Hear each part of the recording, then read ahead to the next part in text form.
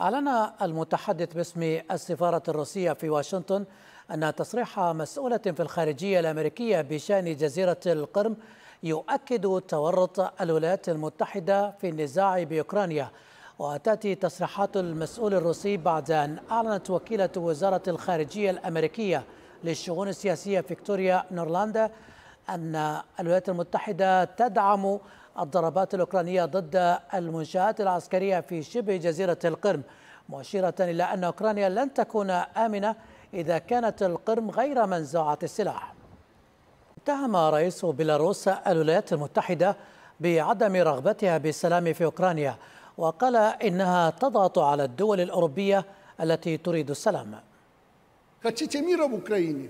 Давайте завтра начнем говорить о мире. И пушки перестанут стрелять. Давайте с завтрашнего дня начнем. Я знаю, что говорю, но вы же этого не хотите. Вы же этого не хотите.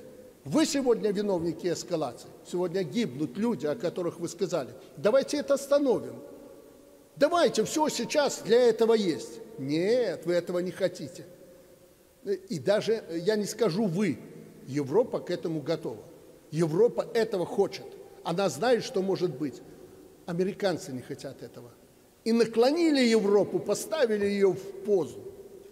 И делают с ней все, что хотят.